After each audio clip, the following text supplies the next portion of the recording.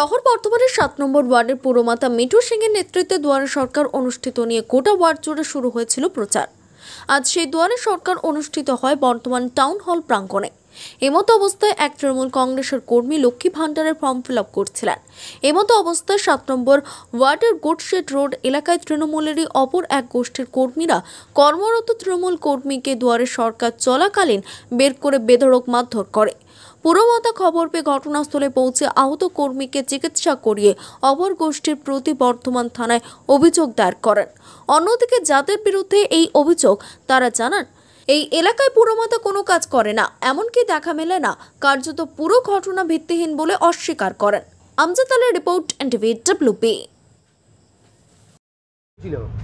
আজকে আমার ওয়ার্ডে তিন তারিখ এবং তেইশ তারিখ দুয়ারে সরকারের ক্যাম্প আমার সরকারের জন্য দিন আমার ওয়ার্ডের জন্য দিন ধার্য হয়েছে। তো আজকে আমার ওয়ার্ডে টাউন হলে সকাল দশটা থেকে চারটে পর্যন্ত দুয়ারে সরকার ক্যাম্প অনুষ্ঠিত হচ্ছে। কালকে সারা দিন এলাকার মানুষকে সচেতন করার জন্য আমার এই ভাই আর একজনকে সঙ্গে নিয়ে টোটোয় করে দুটো মাইক টাঙিয়ে গোটা এলাকা ঘুরেছে। যে আপনারা আজকে দশটা থেকে চারটের মধ্যে টাউন হলে এসে দুয়ারে সরকার সংক্রান্ত আপনাদের যা সমস্যা আছে, সেই সমস্যাগুলোর সমাধান আপনারা করুন, আমরা সেখানে থাকব। যথারীতি আজকে সকালবেলায় ও আগে এসে বসে গেছে আমি তারপর আসছি।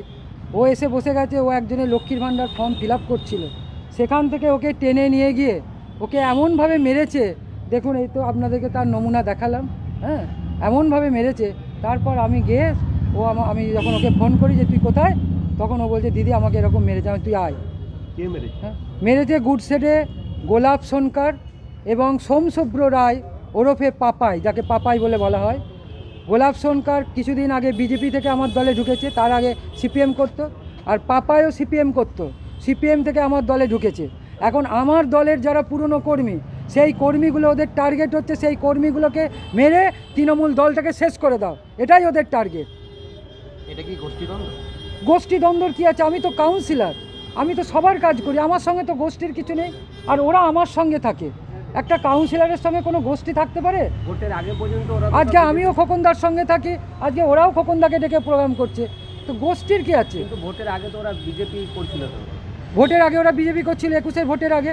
একুশে ভোটের পর দেখল যে পাড়ায় তো আমরা মাস্তানি করতে পারছি না। মাস্তানি করার জন্য ওরা তৃণমূল দলে ঢুকে পড়ল। শুনুন আমার দলে আসা তো অন্যায় নয়। মমতা ব্যানার্জির উন্নয়ন দেখে কেউ যদি আমার দলে আসে সে মেবি আসতেই পারে। সেই হিসাবে আমাদের বিধায়ক তাকে দলে নিয়েছিল। কিন্তু তারা কেবলমাত্র জার্সিটা পাল্টে আমার দলে ঢুকেছে। তারা আমার দলের কোনো অনুশাসন মানছে না। কারণ তারা যদি অনুশাসন মানতো তাহলে তারা আমাকে উপেক্ষা করে সমস্ত কাজ করে। ওই এলাকায় তারা সেইভাবে আমাকে ঢুকতে দেয় না। কোনো প্রোগ্রাম করলে আপনারা দেখবেন ওই গুডসের রোডে যত মানে জেতার পর থেকে যে প্রোগ্রাম হয়েছে একটা প্রোগ্রামে আমার কার্ডে নাম দেয়নি। তাহলে আমি একটা কাউন্সিলর আমাকে যদি সম্মান দিয়ে এলাকায় না ডাকা হয় আমি কেন যাব? আমি যাই না। কিন্তু আমি গুডসের রোডের সমস্ত উন্নয়নমূলক যে কাজ আপনারা যদি উন্নয়নের কথা জানতে চান আমি সমস্ত কাজ ওখানে করেছি।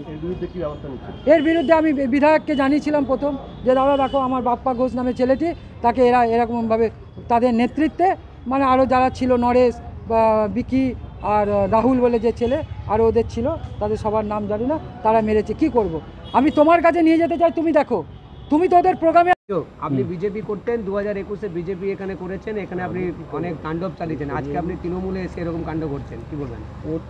ওনার ওইটা মনে হচ্ছে যে বিজেপি থেকে এসছি বিজেপি থেকে কারা অনেক তো তৃণমূলের বড় বড় নেতা হেভি ওয়েটওয়ালা নেতারা তৃণমূলে ছিলেন ওনারা আবার বিজেপি দিয়ে গেছেন আবার উনি বিজেপি রিটার্ন করেছেন উনি ওই উত্তরটা দিতে পারবেন?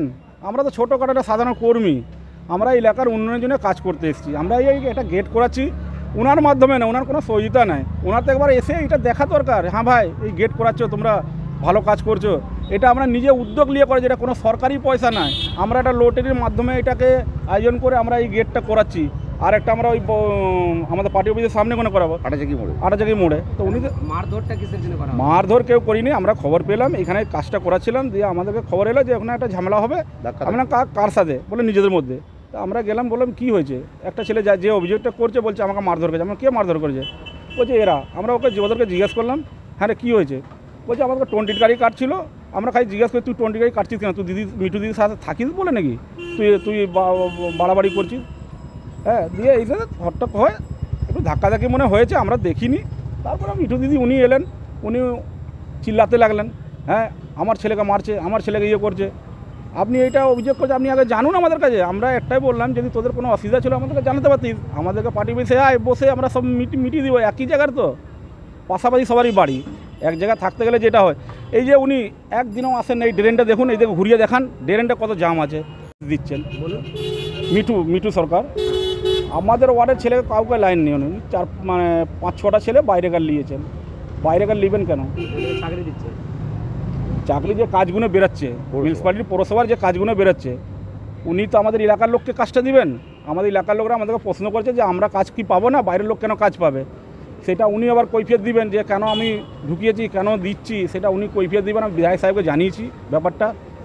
যে এলাকার মানুষ গম চোদ্দ কুইন্টাল গম গমটা পেল না। এলাকার মানুষরা আমাদেরকে বলছে যে আমরা গম পেলাম না। সব ওয়ার্ডে গম পেয়ে গেল। আমি ওনাকে জিজ্ঞেস করলাম যে দিদি আপনি গমটা কবে পাবে?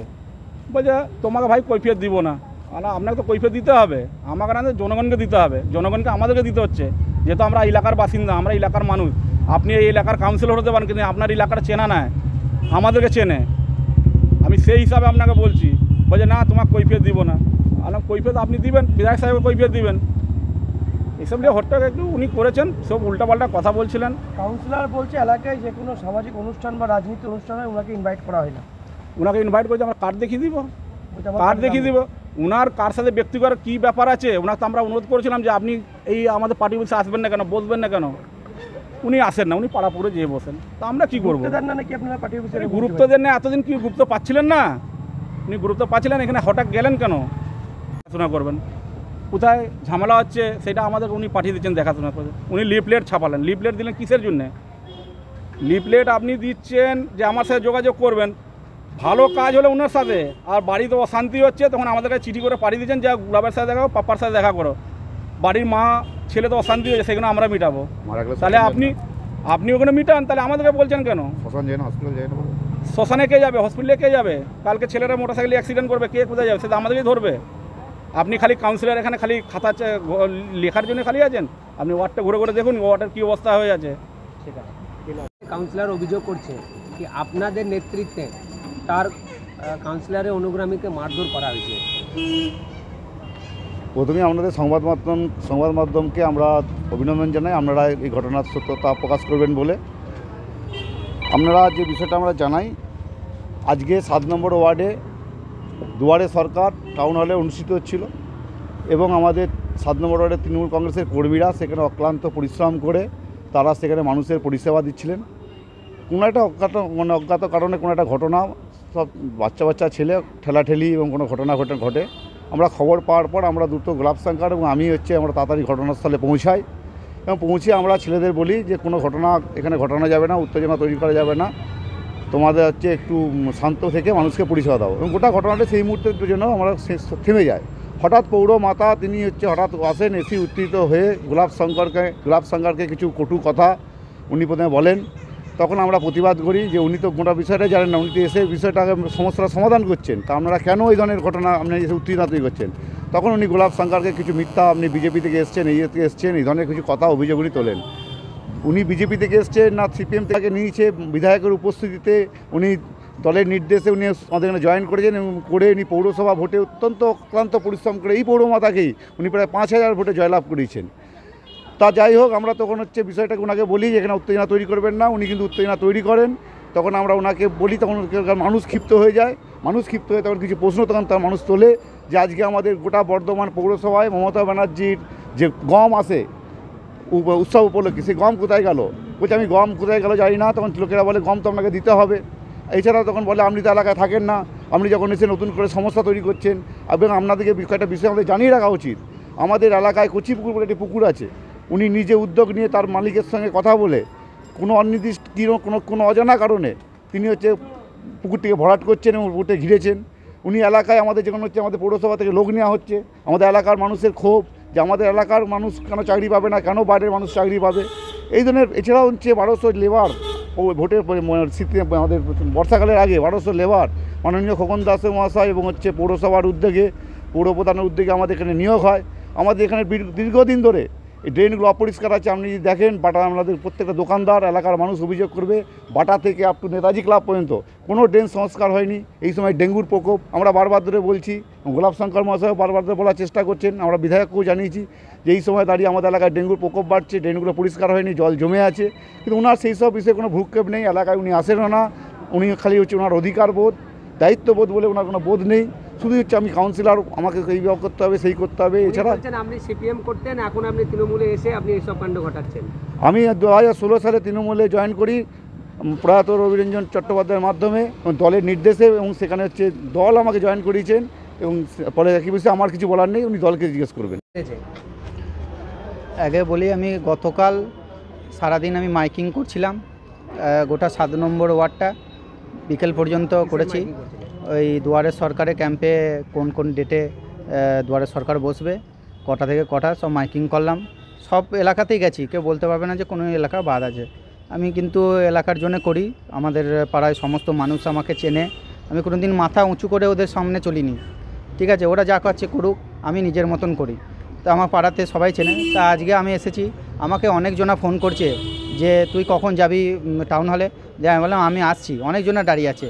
দিয়ে আমি একজনের লক্ষ্মী ভাণ্ডার ফর্ম ফিল করছিলাম। ফিল করা হয়ে যাওয়ার পর তখন পাশে একজন এসে বসল। দেখল দিয়ে বলল, লক্ষ্মী ভাণ্ডার ফিল আপটা হয়ে যা দিয়ে আমি ফিল করছিলাম নিজের মনে। তারপর আমাকে টানতে টানতে নিয়ে গেল উড়সে রোডে ছেলেগুলো। আমি কোনো দিন আজ পর্যন্ত ওদেরকে কোনো দিন আমি ইয়েও করিনি মানে উঁচু কলায় কথা বলুন বা হুমড়ি তুমড়ি মারা কোনো দিন আমি করিনি। ওখানে রিপোর্ট পেলে বল- বলতে পারবেন। দিয়ে আমাকে বাইরে টাউন হলে বাইরে বার করে গিয়ে ওখানে সে পেটে, পিঠে, ঘাড়ে মাথায় মুখে লাদ মারে আবার বেল্ট বেল্ট খুলে আমাকে প্রচুর মার মারে। তাই আমি সহ্য করতে পারিনি। তা ওখানকার গুডসে রোডের এলাকার ছেলেগুলো যারা ওখানে আছে গুডসে রোডে মেন কার্যালয়ে টিএমসি আছে ছেলেগুলো নাম ওখানে তা সেই ছেলেগুলো আমাকে খুব মারে। তা আমি তো তাদের না ওরা গুডসে রোডের মেন পার্টি অফিসে বসে প্রধান কার্যালয়। তৃণমূল পার্টি অফিসে আমাদের কোনো দিন ওর রাগও নাই কিছুই না ঠিক আছে? আমাকে বিকি রাহুল এরা সব নরেশ ফরেশ এরা সব ছিল আর নাম জানি না। এরা আমাকে প্রচুর ফেলে মারে আমাকে। তোমার নাম আমার নাম বাপ্পা ঘোষ। মিঠু সিং এর সঙ্গে? হ্যাঁ আমাদের মিঠুর সঙ্গে বলতে মিঠু সিংয়ের সঙ্গে বলতে আমাদের ওয়ার্ডের কাউন্সিলর তিনি পৌরমাতা আমি তার সঙ্গে থাকব তিনি যা নির্দেশ দেবে আমি আমার একশো দুই পাটে আমি থাকি। তা আমাকে যা নির্দেশ দেবে আমি সেই কাজটাই করি। আমি তো তার বিরোধিতা করি না। তা সেটা অন্য লোকের কী যে মতলব হয় আমি সেটা বুঝতে পারছি না। এটাই আমি আপনাদেরকে জানাচ্ছি।